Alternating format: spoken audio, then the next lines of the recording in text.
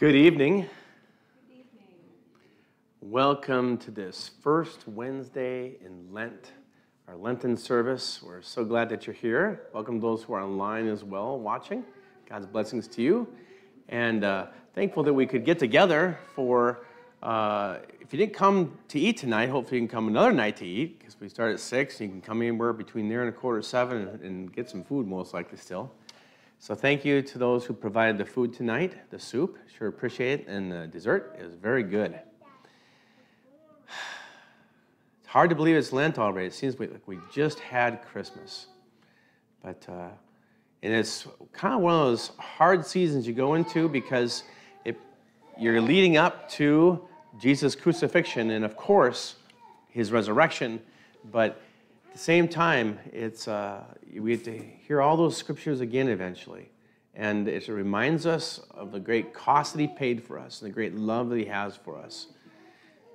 So tonight, uh, we are going to be going through some familiar scriptures we typically have on a, on a Wednesday night, the first Wednesday, Ash Wednesday. But uh, after that, we're going to be focusing on the Ten Commandments along with uh, Jesus' words uh, addressing some of those, and it leads us up to his crucifixion. So I look forward to that, and I hope that you can too, and that we would all be blessed by his word and his spirit in our midst. Let's go ahead and uh, begin in the name of the Father, and the Son, and the Holy Spirit, and I invite you to stand, and we'll sing Change My Heart, O God. You can, it's on the screen and also in your uh, bulletin.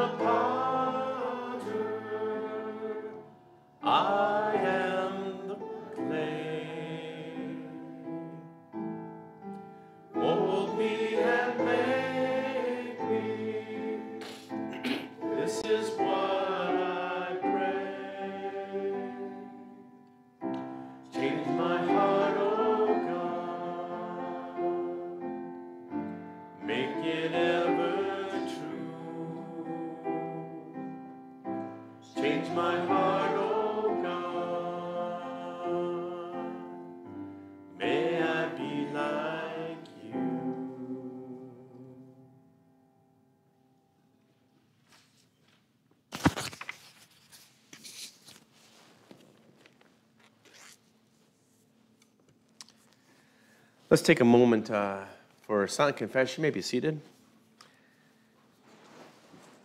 Well, some silent confession, and then uh, I will share a, a scripture uh, after our prayer. So, Father, we just take this moment to come before you in confession that we have sinned in d- different ways, ways which we are aware of and some which we may not be. We just bring our attention to these things in this time, God as we confess them to you.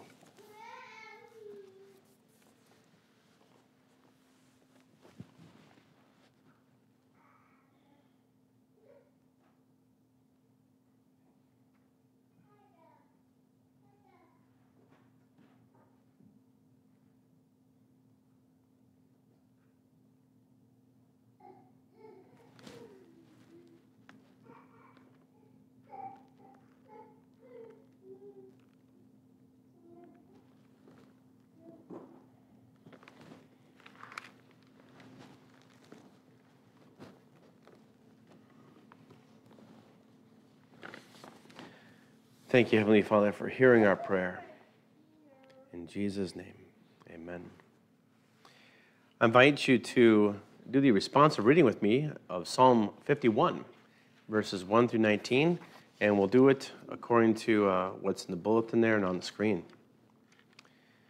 Be gracious to me, O God, according to your loving kindness, according to the greatness of your compassion, blot out my transgressions. Wash me thoroughly from my iniquity and cleanse me from my sin. For I know my transgressions, and my sin is ever before me. Against you, you only, I have sinned and done what is evil in your sight, so that you are justified when you speak and blameless when you judge. Behold, I was brought forth in iniquity, and in sin my mother conceived me. Behold, you desire truth in the innermost being, and in the hidden part you will awaken me with no wisdom. Purify me with hyssop, and I shall be clean. Wash me, and I shall be whiter than snow. Make me to hear joy and gladness. Let the bones which you have broken rejoice. Hide your face from my sins and blot out all my iniquities. Create in me a clean heart, O God, and renew a steadfast spirit within me. Do not cast me away from your presence, and do not take your Holy Spirit from me. Restore to me the joy of your salvation, and sustain me with a willing spirit. Then I will teach transgressors your ways, and sinners will be converted to you. Deliver me from blood guiltiness, O God, the God of my salvation. Then my tongue will joyfully sing of your righteousness. O Lord, open my lips, that my mouth may declare your praise. For you do not delight in sacrifice, otherwise I would give it. You are not pleased with burnt offering.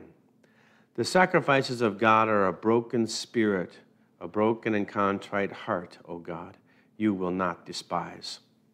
By your favor, do good to Zion, build the walls of Jerusalem. Then you will delight in righteous sacrifices, in burnt offering and whole burnt offering. Then young bulls will be offered on your altar. Just a reminder about that Psalm 51. Of course, it's a psalm of David. It's when the prophet Nathan came to him after David had committed adultery with Bathsheba.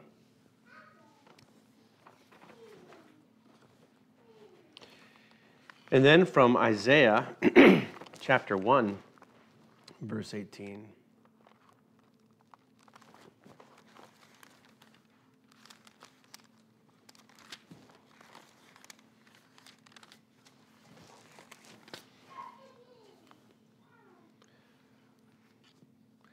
Come now, let us reason together, says the Lord. Though your sins are like scarlet, they shall be white as snow. Though they are red as crimson, they shall be like wool. Amen. Are there any announcements that you'd like to make at this time or anything like that?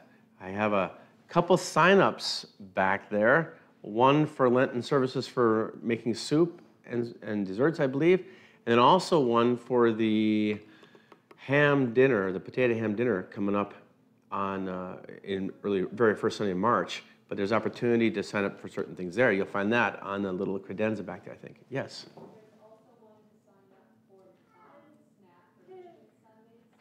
Oh, and, and one for snacks for Mission Sundays. Anyone, someone for some Sunday, okay? So there's a bunch of opportunities to take look at those before you rush down the stairs. Take a good look at those so you could see, hey, I could do that. All right, thank you. Anything else? All right. Any particular prayer requests you want to publicly lift up?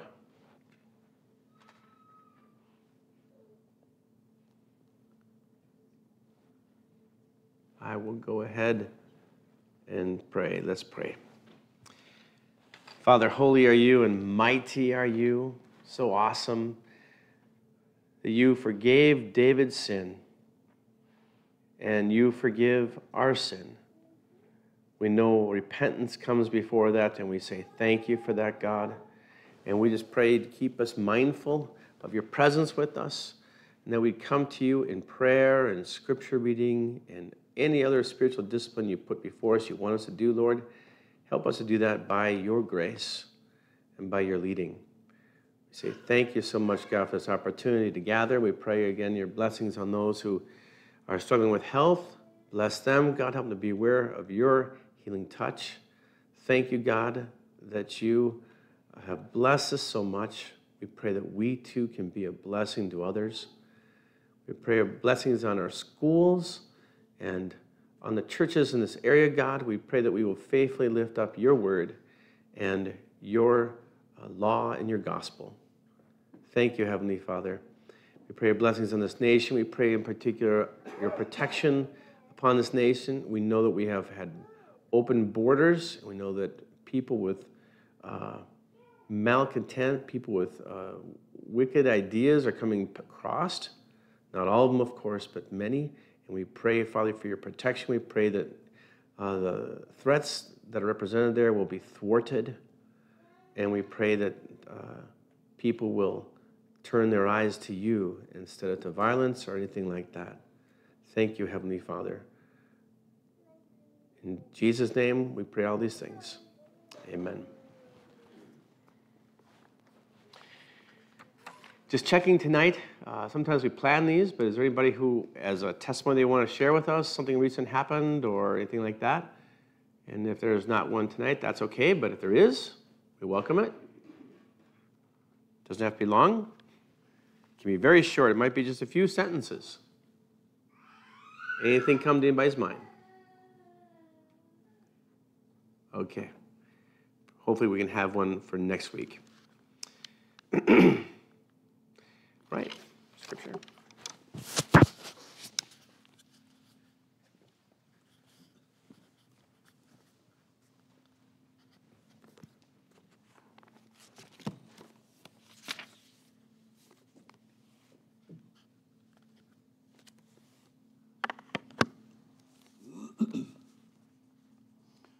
Uh, Old Testament reading tonight is found in the prophet of Joel, Joel chapter 2, uh, verses 12 through 19. That's found on page 645 in your Pew Bibles.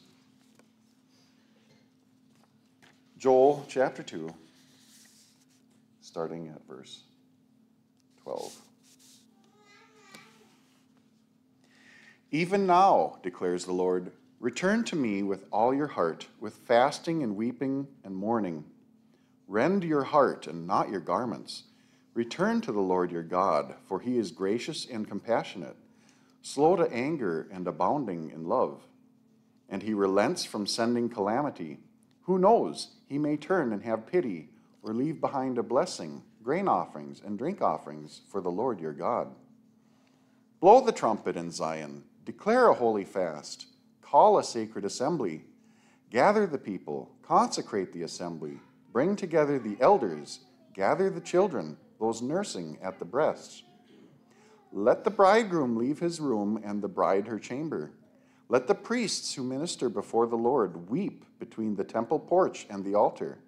Let them say, Spare your people, O Lord. Do not make your inheritance an object of scorn, a byword among the nations. Why should they say among the peoples, Where is their God? Then the Lord will be jealous for his land and take pity on his people. The Lord will reply to them, I am sending you grain, new wine, and oil, enough to satisfy you fully. Never again will I make you an object of scorn to the nations.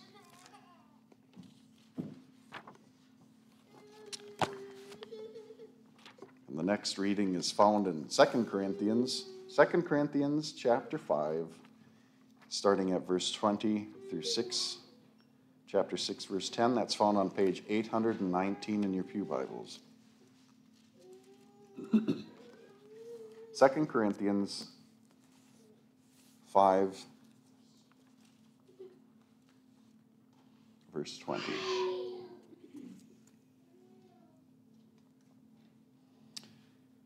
We are therefore Christ's ambassadors, as though God were making his appeal through us. We implore you on Christ's behalf be reconciled to God. God made him who had no sin to be sin for us, so that in him we might become the righteousness of God. As God's fellow workers, we urge you not to receive God's grace in vain, for he says, In the time of my favor I heard you, and in the day of salvation I helped you. I let you now, or I tell you, now is the time of God's favor. Now is the day of salvation.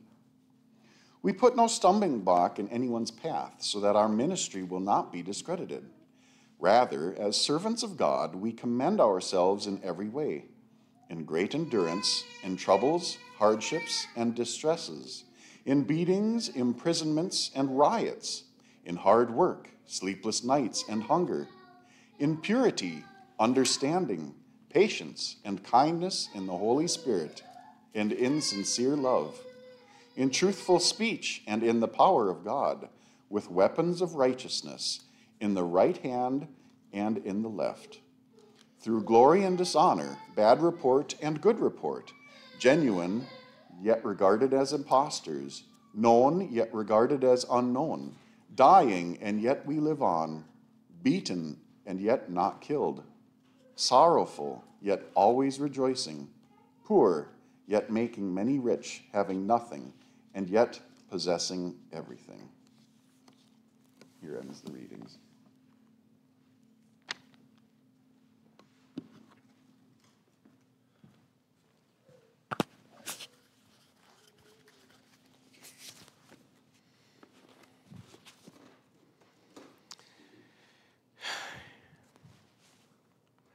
Any children coming up tonight? We got some, I want to do something here. Come on up. How about the little guy back there? Is he coming back? Okay. Have a seat. We'll wait for you to come down. All right. Gonna. Here we go.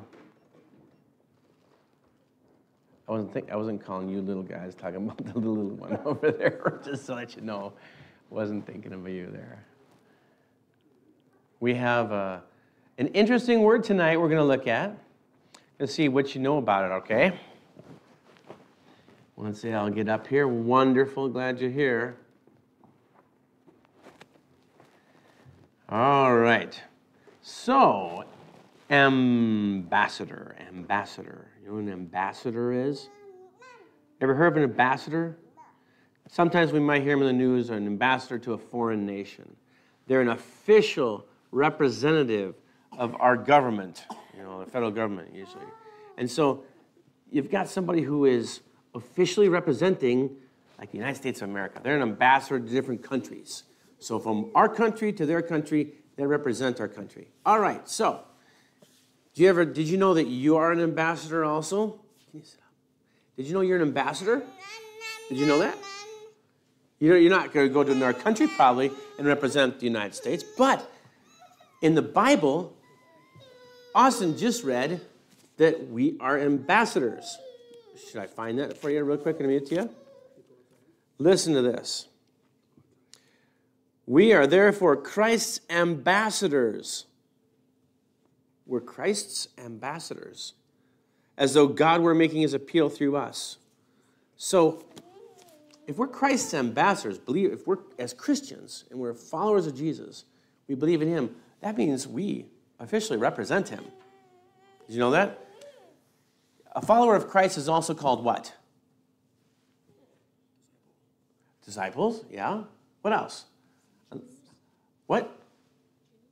Some Jews are Christians, that's right.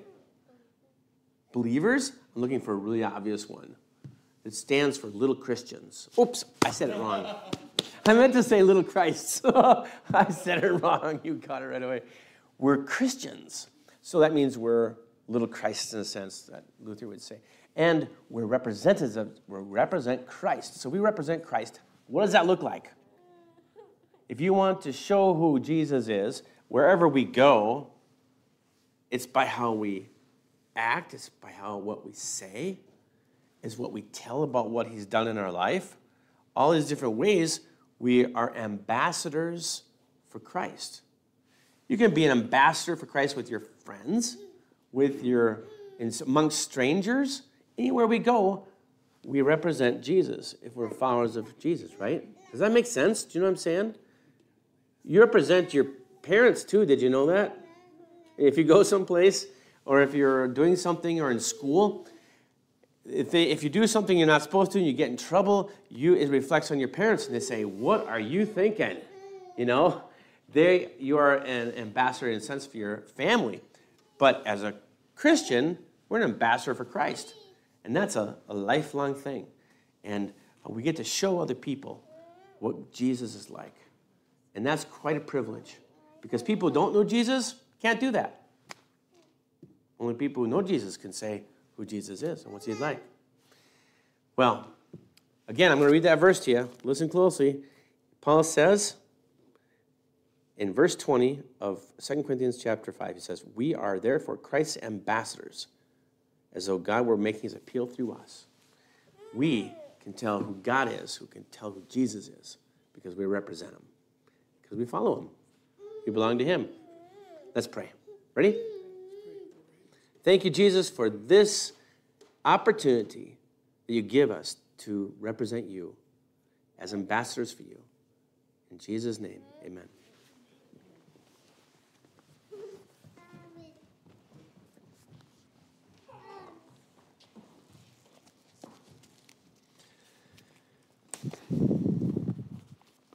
I invite you to stand for the reading of the gospel. It's from Matthew chapter 6, verses 1 through 21. Jesus is speaking here. Lord, bless our hearing and reading of your word. Amen. Be careful not to do your acts of righteousness before men to be seen by them. If you do, you have no reward from your Father in heaven. So when you give to the needy, do not announce it with trumpets, as the hypocrites do in the synagogues and on the streets, to be honored by men. I tell you the truth, they have received their reward in full. But when you give to the needy, do not let your left hand know what your right hand is doing, so that your giving may be in secret. Then your Father who sees what is done in secret will reward you. And when you pray, do not be like the hypocrites, for they love to stand, uh, pray standing in the synagogues and on the street corners to be seen by men. I tell you the truth, they have received their reward in full. But when you pray, go into your room, close the door, and pray to your Father who is unseen.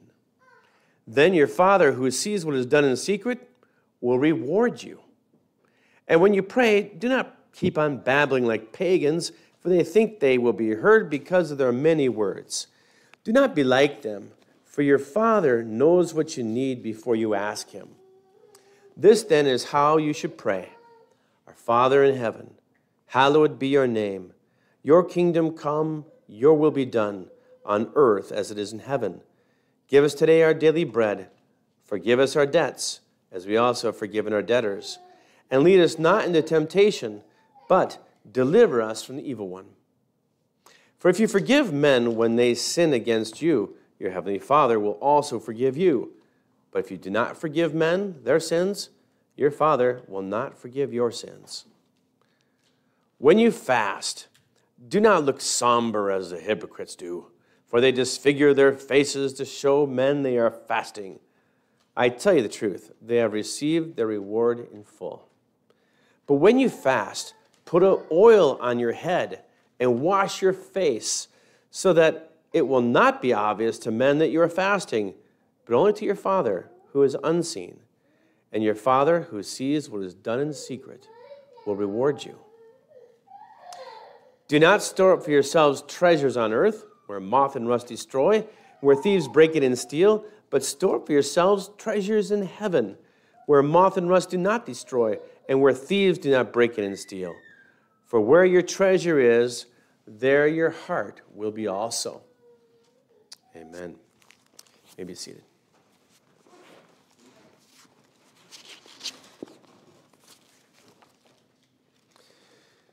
Heavenly Father, we thank you for your word. It's trustworthy and true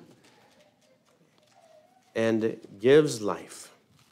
Bless us as we ponder it more in this time. In Jesus' name. Amen. Have you ever seen those wanted posters? Ever had your face on a wanted poster? I mean, like for fun? it doesn't look too real, you know, because it's usually nice looking, kind people who are on the poster and they're smiling or something like that. But those wanted posters were pretty necessary to be able to see what somebody looks like so that you can go ahead and identify them. Because there's something that goes along with identifying somebody. What is it that you might get? A reward. Yeah. Sometimes it's a lot of money, sometimes it's not as much. I haven't seen or noticed on FBI, you know, most wanted posters, if there's money attached to those or not. But the old school ones, ones back in the Wild West, apparently, used to have money attached to it, typically, maybe $200 or maybe a 1000 if they're really needed to get them. If you're quick to receive a reward for doing something, which would you prefer? Would you want a quick and fleeting reward if you wanted that uh, right away? Or would you want to have something that maybe is longer lasting? Typically, I think if you were to go walk around and say, hey, I've got $10 for you now, or later on sometime I'll give you 50. What do you want? I would think most people are probably going to say, I'll take the 10 now because they can get it right now and they'll have it. I didn't try that experiment. I didn't quite have enough money to do that. But if you want to do it with me sometime, we'll go to the mall or go downtown Wahpeton and try that. See what happens. Most of us might not, not knowing what the reward is exactly, choose the longer lasting one. Someone might just like to have the reward now, it's tangible, isn't it? You can have it, you can see it, you've got it. It gives satisfaction, it gives pleasure now, as opposed to later not knowing when that might be or what it's going to be. Did you know that there are rewards for doing spiritual things? It seems kind of like a strange thing, doesn't it? To think rewards because I, I'm faithful or doing spiritual, religious things. But there are. Rewards is not something we talk a lot about, but they can be had.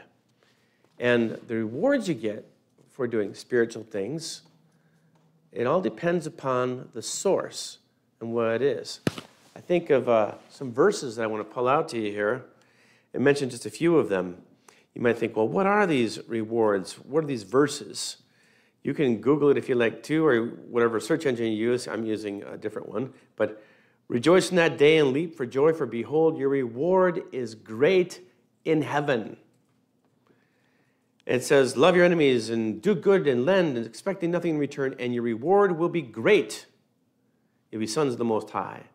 That's Luke 6:35. You can go on and on and find many of them. One person uh, uh, asked in 1 Corinthians 9, What then is my reward? Here's from Hebrews 10 Therefore, do not throw away your confidence, which has a great reward. Rewards, I think, in many ways in the present, but also rewards in the future. Source makes a difference, though. Jesus illustrated this idea several times in our chapter in Matthew 6 today. be careful not to do your acts of righteousness before men, to be seen by them. If you do, you will have no reward from your Father in heaven. Wow. Rewards for doing acts of righteousness can be had now from people, or rewards can be had from our Heavenly Father to be had now or now and later. If a person seeks praise from people, that will be all that person gets from God, is a praise that came from those people. When we seek praise from people, we are making it about ourselves. We bring attention to ourselves instead of to God who supplies our needs. In verse 3, Jesus said, But when you give to the needy, do not let your left hand know what your right hand is doing, so that your giving then may be in secret. Then your Father who sees what is done in secret will reward you. And so, with that, I think that it's a fascinating thing that we are so eager to in our head sometimes want to still get that short term reward. Isn't that just weird how that is? I mean, I thought, well, praise from people, though, it does not last. But God's does. All right.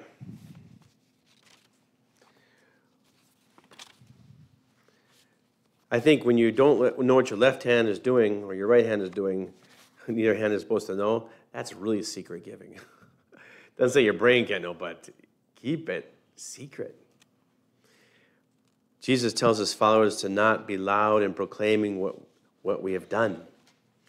Giving is to be quiet, secretive, and it trusts God to reward instead of looking for reward from people. Rewards for giving can be had at the moment from other people, or rewards can be had from our Heavenly Father to be now or now and later. Now, about prayer, I don't think I know anyone who loves to show off in public praying.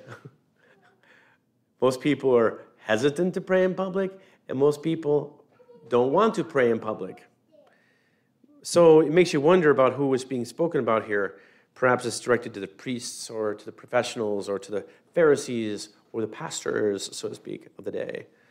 Nothing wrong with praying in public, but to be seen by people, and that's why you're doing it, there's a problem. It lifts up oneself, praises oneself instead of praising the one that we're praying to. Jesus said, when you pray, go into your room Close the door and pray to your Father who is unseen. Then your Father who sees what is done in secret will reward you. Can't think, help but think of that uh, movie that came out by the Kendrick brothers a number of years ago called War Room. Anybody see War Room?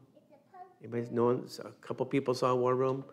I happen to have it. If you want to borrow it sometime, it's worth seeing. It's about uh, it's about a prayer closet in a sense, and great prayer that was done by a lady. Which do you think is better when all is said and done? Rewards from people or rewards from our Heavenly Father? Have you ever fasted or considered fasting? Don't show your hands. if you ever considered it and have done it, you probably experienced that you get hungry, you might get weak, and that's why you should maybe check with your doctor first to see if you should do it. You probably know whether or not you should do it. Fasting causes your stomach to hurt, and that's supposed to trigger you to think, Thank you, God, for providing for me. It's to cause you to pray. Fasting is to direct you to God so that you will pray to Him. Hunger reminds us that God supplies too. Fasting is to lead us to praise and to pray. After Jesus had fasted 40 days and 40 nights in the wilderness, he was tempted by Satan to turn stones into bread. And that is something that he did not give into. He didn't cave into that temptation, did he? It was a temptation that's kind of like uh, instant gratification, even though he'd gone 40 days without food. And he said no to that because he trusted his heavenly Father. He did not need to selfishly perform a miracle for himself. Jesus told Satan, It's written, man does not live on bread alone, but by every word that comes from the mouth of God. Hunger reminds us to take in God's word too, to trust Him. So, fasting is to be done in secret in such a way that we don't seek praise from others or doing it. It doesn't mean you can't tell someone, but if you're telling someone to look for praise, like, wow, you're really special, you're really spiritual, I, I could never do that. Be careful. You can lose your reward from your Heavenly Father. I think it's funny. I remember back in college when I was at, I was at Augustana for a year and a half, my last year and a half of school, and I remember we were gonna students were all planning to fast or do something like some kind of agreement, and and there's this one guy I remember who was just boasting about it and telling everybody about it. I'm thinking, oh, he doesn't get it, you know.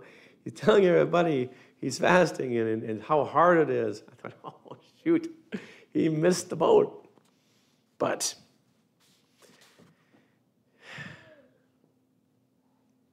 it's to be done secretly.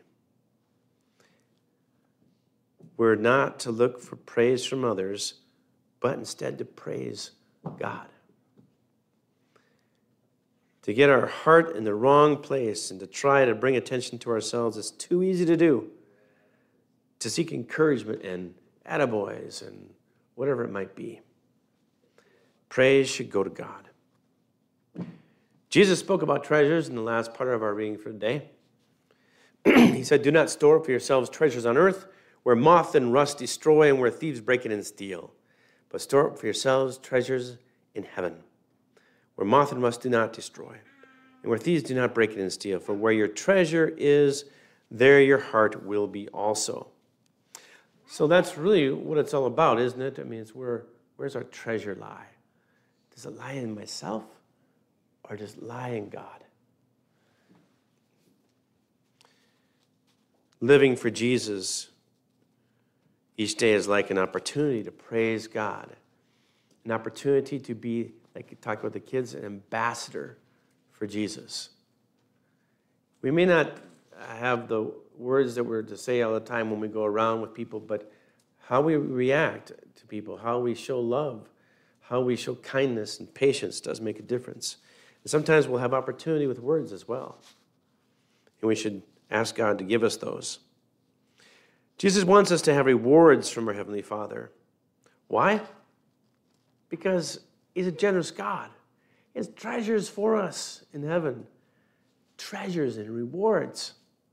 He's generous, and He lavishes His love and generosity upon His children. His rewards are eternal. His rewards mean that our heart is in the right place. Austin read earlier from Joel chapter 2. Even now, declares the Lord, return to me with all your heart with fasting and weeping and mourning. It's return to God, not return to myself, not for praise. Rend your heart and not your garments. Return to the Lord your God. He is gracious and compassionate, slow to anger and abounding in love, and he relents from sending calamity. There are many rewards for doing spiritual disciplines for taking time for God. I think we'll, we'll experience some of them here as we notice God working on us, as we notice God changing us and uh, shaping us to be more like Him. These rewards are blessings from Him. May we always seek God's reward, our Heavenly Father's reward, not from other people, though. Otherwise, we must repent and be made right in the Lord. So, Lord, help us in this. Let's pray. Heavenly Father, we thank you very much for Jesus' teaching on the importance of coming near to you, whether it be by giving or whether it be by praying or forgiving or whatever it might be, God, all these different things we talked about. Help us to seek your reward and not the praise of people. Help us to praise you, God, and point to you, to be those ambassadors where, for you wherever we go. We praise you in the name of Jesus. Amen. Let's sing I Lay My Sins on Jesus, number 396.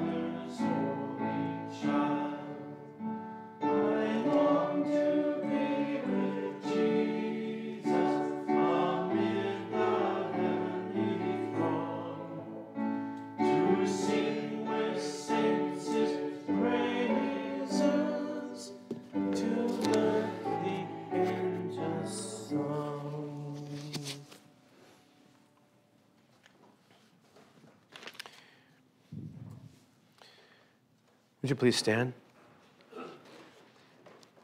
Let's pray together the Lord's Prayer. Our Father, who art in heaven, hallowed be thy name. Thy kingdom come, thy will be done, on earth as it is in heaven. Give us this day our daily bread, and forgive us our trespasses, as we forgive those who trespass against us. And lead us not into temptation but deliver us from evil. For thine is the kingdom, and the power, and the glory, forever and ever. Amen. Let's do the benediction first, then the doxology, all right? The Lord bless you and keep you. The Lord make his face shine on you and be gracious to you. The Lord lift up his countenance upon you and give you peace. In the name of the Father, and the Son, and the Holy Spirit. Amen.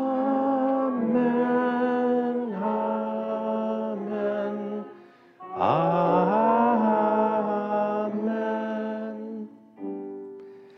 Praise God from whom all blessings flow.